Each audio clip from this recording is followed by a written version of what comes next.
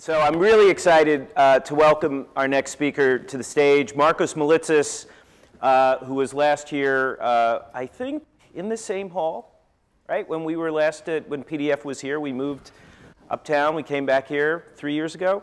Uh, so Markos Moulitsas is probably uh, best known for starting Daily Kos, which is the biggest and uh, most vibrant political blog in the United States. Uh, about 250,000 registered users on the site, and an unbelievable community. I think it, it should be thought of as a small city, uh, uh, and a very, very active one. And using the word blog to describe it uh, is almost a misnomer. Um, it's more like a collaboration engine. Um, and Markos is here. Markos, come on up. Um, is here to talk to us about something that he's going to be unveiling very soon, which is the redesign of the Daily Kos website. He started before social media really existed and now is in a world uh, where we're drenched and swimming in it. Um, and so what I'm looking forward to hearing is how he has rethought the, the role of his site and the design of it in this context of a whole new media system. He has been ahead of the curve in understanding how we use the technology to develop online community, in his case for political activism, but I think there's also a larger message here about how we think about media in a networked age. Markos Moulitsas.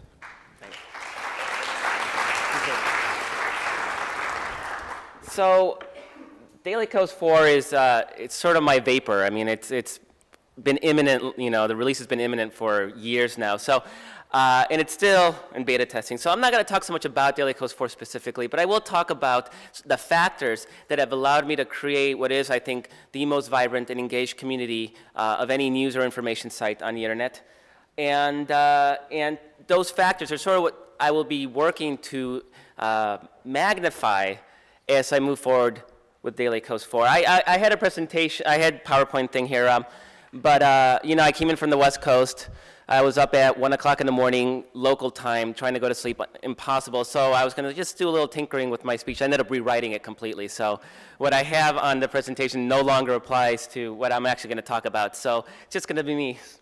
And uh, Daily Kos is uh, eight years old. It just turned eight years old, which is 56. That's 56 in dog years, and it's uh, about 2,000 years in internet years. And uh, it, you know, I started the site in 2002, which, if any of you are progressive, you, you remember that as a very difficult and trying time for progressives. I mean, it was a very difficult political environment where criticizing the president on any issue was considered akin to treason uh, and being un-American. And uh, I don't say this right now to start a political debate or to rehash those battles, because this is not a political speech, but this was sort of my frame of mind, and that was my frustration of the moment. And I felt neglected and ignored. And I despaired not just for the politics in, of my nation and my country and for the progressive movement, which was non existent at the time, but I also despaired for the news media. And, and I grew up a huge news junkie. Uh, growing up in, uh, in suburban Chicago, I, I, had, I got my parents to get me subscriptions to both the Chicago Tribune and the Sun Times. And I didn't realize then just how expensive newspaper subscriptions were. My parents were working class, so it was a big sacrifice for them, but this was important for me, and, and they encouraged that from the very beginning. I thought I was going to be a journalist. I thought I was going to be a reporter. One of my degrees is in, one of my majors was journalism. I was a stringer for the Chicago Tribune. And my life took a different approach, but at the time I really thought I was going to be one of these investigative journalists that newspapers love to talk about, but you never see in the wild anymore. I mean, they sure didn't exist in 2002 as Bush was taking our nation to war. But what I did see was the media turn into the biggest, loudest, dissent-crushing, flag-waving cheerleaders of anybody for this impending war in Iraq. And why, why wouldn't they? Because this was exciting stuff. It was fantastic for ratings. And for an industry that was hurting, that was losing viewers and losing readers, uh, the prospect of shock and awe and missiles over Baghdad and parades and, and flower petals. I mean, this was really powerful stuff. They couldn't wait to get started. And nobody spoke out against that. And that, that was the problem. The media and the progressive establishment itself were completely AWOL in that debate. They failed America in the process. And that's sort of the bottom line. This is why Daily Kos exists, because there was a huge market failure. Well, I may have felt that I was all alone in my anger as my country slid to war. Turns out that I wasn't. And I figured that out really quickly after launching Daily Kos. I thought I was this little island of me, and once you start talking about these issues that more people wanted to talk about, but were completely shut out of the media environment, suddenly you realize there was an audience for that. There were others like me, they felt shut out of debate, and uh, they flocked to my sites, and others like it. And so we quickly moved from being passive consumers of information to creators of content ourselves. And we were facilitated by new low cost and zero cost technology. We could grab a domain name, what was it, 895 at GoDaddy at the time, set up a blogger site, free. Next thing you knew, you were wondering out loud about whether those aluminum tubes that Colin Powell was talking about really meant what they thought they meant. And you discovered that there were thousands of other people wondering the same thing, and that they had their own questions to ask. They added their own specialized information, and we had scientists and doctors and lawyers and veterans and housewives and people from all comers of life discussing these issues and bringing their particular expertise to that debate. And lo and behold, we had a new participatory, collaborative form of media where no one voice dictated the truth and where everyone was open to challenge. Even on a site like Daily Kos, which is considered sort of an echo chamber, you couldn't write something with people demanding, prove it. Show us your work. Where's the link? New voices emerged in this environment. And it was funny, because when the beginning of this process, people thought, well, these bloggers have to be somebody famous. And I don't know how many of you are familiar with the blogger Atrios, Duncan Black. Uh, at the time when he was pseudonymous, people thought, well, he must be Sid Blumenthal, right? It's got to be Sid Blumenthal, because it couldn't be some random guy that no one had ever heard of. So when he finally came out and said, I'm Duncan Black, people, who? And when I came out and said, I'm Markos Moulitsas, people were like, what? we weren't known names. We didn't have money. We didn't have famous parents. We didn't have any coattails to write off. We were able to succeed, because we had a voice that met a market need because the media had failed. So Daily Kos grew, and there are several factors that allowed Daily Kos to grow over those first uh, several years. One, like I said, we filled a market void. Uh, there was a dearth of strong progressive voices in the media landscape. Second, we nurtured new voices. I didn't come into it thinking Daily Kos, that's the name of the site. Uh, I, I thought that was a temporary name. I never thought it would actually stick. I just couldn't think of something good.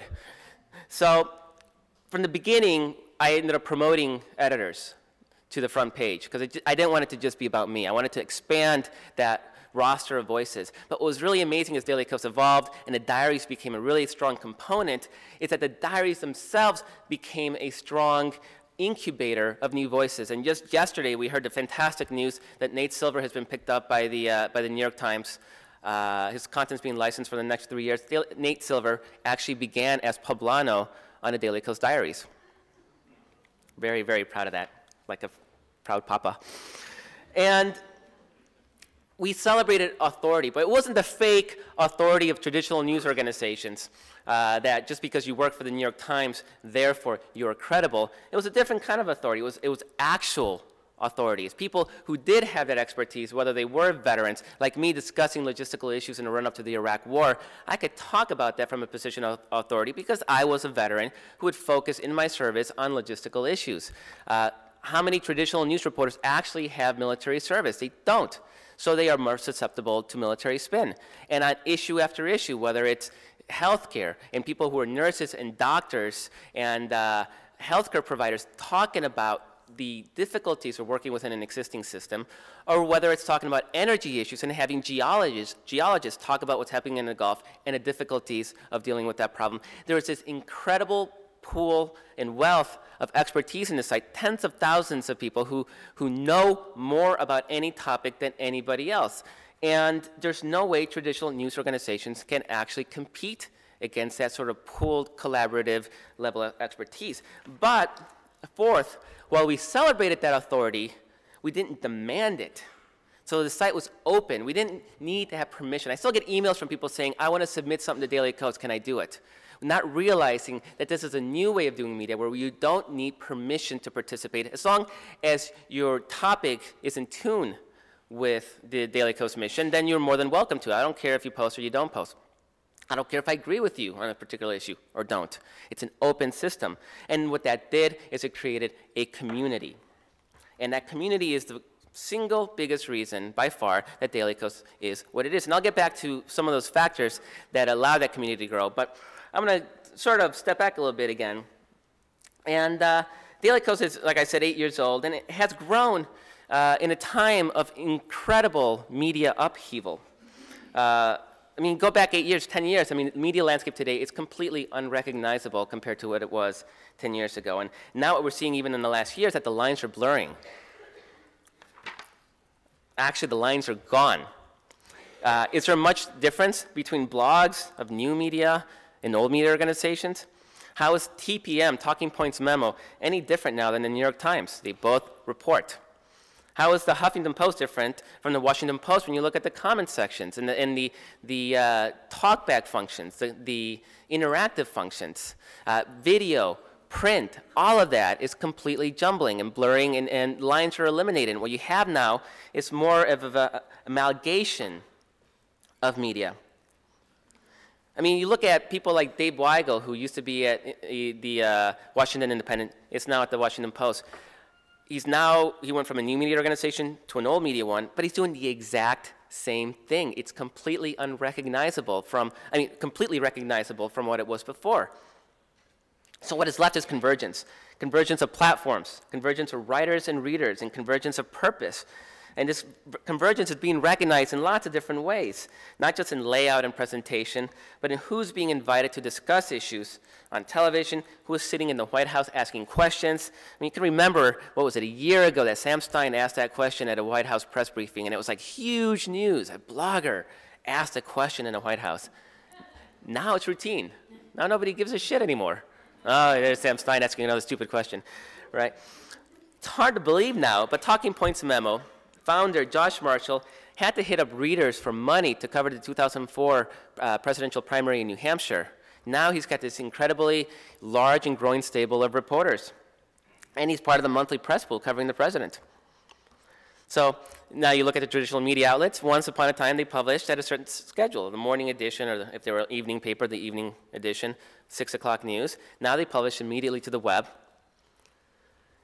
And by the time print readers read that story. The online, online version, it's evolved. It's been updated. New links have been added. Corrections have been made. Traditional outlets are also picking up new talent, new media talent, like the Ezra Kleins and the Dave Weigels, and so on, and the Nate Silvers. So as news flows and it morphs and changes in real time, it's hard to tell what's dead tree copy and what is online only. And really, at the end of the day, nobody cares anymore except the accountants trying to hold on to this dead or dying revenue model. So more and more what sets old media apart from new media isn't just form, it's brands and niches. Daily Kos itself is basically a niche site. That's how we built our own brand. And rather than do original reporting, we do that sometimes, but rather than do that, we aim to explain a confusing and, and uh, difficult political process. We're more into the explanatory side of the media uh, divide. So whether it's breaking down parliamentary procedure, digging into congressional district's demographic, breaking down complex financial reform legislation, we go far beyond what the traditional media considers political news and actually deeply explains it. So you're not going to hear about Alan Gore and Tipper Gore on Daily Kos. You're going to hear about things that actually matter. and rather than pretend that we speak for America, like 99% of pundits, uh, we decided to make a habit out of asking Americans what they thought. So there's no worse phrase to me in, in, in media than the American people think, right? And everybody loves to say that, right? You watch the Sunday morning talk shows, the American people think. Politicians love that. There's polling to support what you're saying, then fantastic. But most of the time, there isn't. We decided to invest heavily in polling because being a grassroots organization where people have a voice, we decided we couldn't, in all conscience, be an organization that dictated what we thought to the rest of the, of the public. We were going to find out what they really thought. So we started polling in 2007. And it was a very radical concept at the time. But for a site focused on grassroots empowerment, that was our way to get the pulse of the nation. In 2008 and 2009, Daily Kos commissioned more polling than any other media organization in this country, by far, not even close. This year, we'll end up polling 200 races and issues. It was our polling that first popularized the notion that the Tea Party uh, protesters thought that Obama was really born in Kenya. It proved that the healthcare law wasn't political suicide for Democrats, and that's playing out as this election cycle uh, uh, progresses. It showed that insurgents could challenge the party establishment in primaries and win. And it's now showing that Democrats aren't as doomed in November as the pundits desperately want them to be. But most of all, it created a culture in which we don't make assumptions about what people think. And like I said, the media establishment likes to pretend that they speak for everybody else, and they wield this conventional wisdom as though it's the truth. Uh, and it really drives people like me insane. And again, that's one of the reasons that Daily Kos has, uh, has succeeded, because it has tapped into that frustration. It has turned the top-bottom model upside down. And it's not just us, of course, which is why new media poses such an existential threat to old media outlets that don't evolve with the times. And I think the future of news is multiple sources and platform, and healthy and enthusiastic communities, feeding information and interpretation to each other in an environment that embraces such collaboration. In order to nurture those communities, one needs to design their media website, not just for information distribution, but for social activity as well.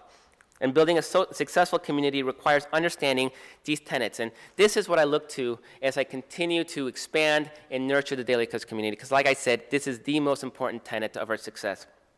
One, you must appeal to ego.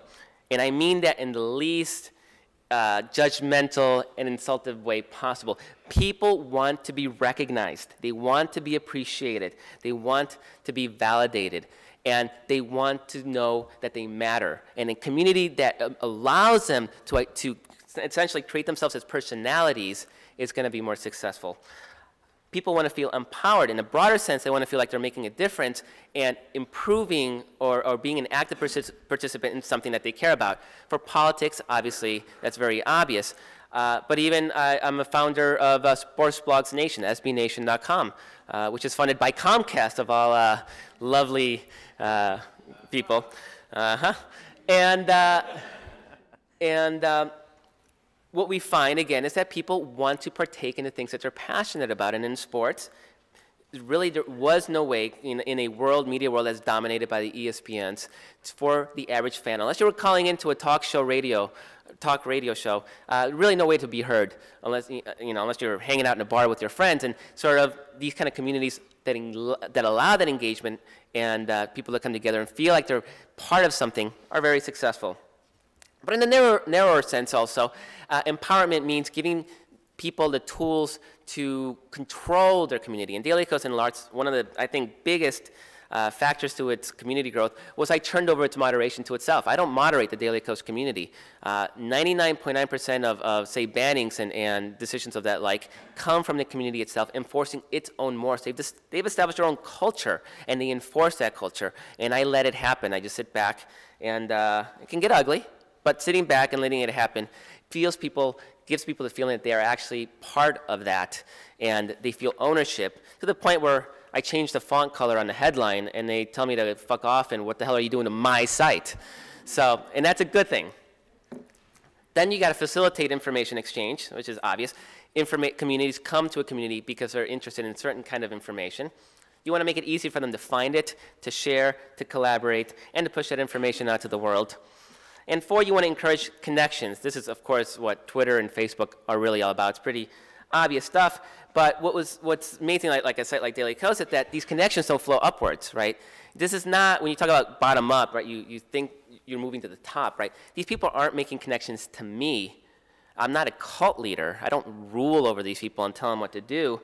But they flow sideways to each other in different directions, in infinite directions. So these are the elements that have allowed me to build the most engaged community online. And, and that's not just an idle boast. I mean, Pew study, uh, Pew's Project for Excellence in Journalism, they have their annual State of the Media uh, report. And in the 2010 edition, they reported that Daily Kos averages 48 minutes per person per visit. The Drudge Report, nearly an hour. Five, that's five times the average news site. And the other sites range between 5 and 25 minutes per person. So Daily Kos at 48 minutes is almost double the number three site. And Drudge is not a community site. He does what he does very effectively. For community sites, Daily Kos is double the next community site. It's because community. It's the way you, you build and engage that community. Now, this desire for community isn't just idealism. How can today's news organizations manage this sort of tidal wave flow of information without that extra help? We are flooded with videos and podcasts and Twitter observations and Facebook entries, traditional news sources and items that used to be out of reach of the average person, like databases, government reports, think tanks analysis, polls. Do you really want a detailed reporter to cover Sarah Palin's Facebook page? You don't. This variety itself is crying out for community collaboration, collation, and curation. We piece together the news these days. We discover within large communities and within niche communities what interests us. Together with today's tools, we make sense of the world around us in a way that simply wasn't possible before, and that is the future media, collaborative, multimedia, and accessible to the masses. Those organizations that open themselves up to new voices, new talent, new ways of facilitating the free flow of information and communication, not one way or two way, but infinite ways, will thrive in this new democratized world. Thanks. Perfect. Thank you.